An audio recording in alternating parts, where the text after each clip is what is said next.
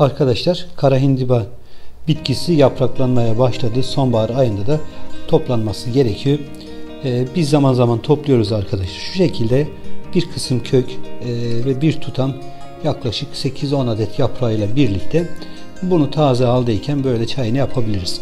Geçen hafta kuruttuğumuz e, bu şekildeki e, kuru bitki yapraklarıyla da çayını yapabiliriz. Bunu salatalara doğrayabiliriz arkadaşlar. Ve şöyle koparıp ağzımıza atıp evet hemen gerçekten güzel marula benzer bir tadı e, mevcut. Bu şekilde de tüketebiliriz.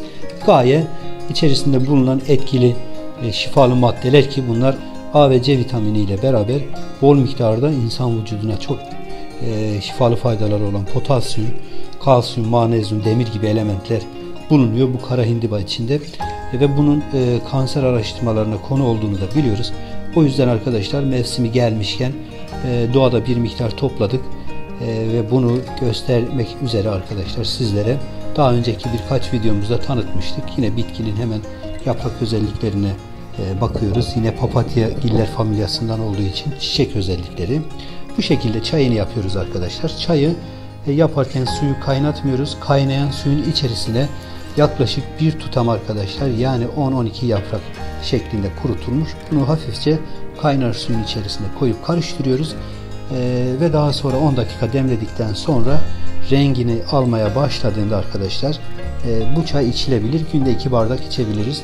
E, vücutta bağışıklık sistemini güçlendiriyor. E, gerçekten e, serbest radikallere karşı bir savaş e, gösteriyor, savaşım gösteriyor. Yani her yönüyle faydalı bir bitki. Diğer videolarımızda faydalarından bahsetmiştik.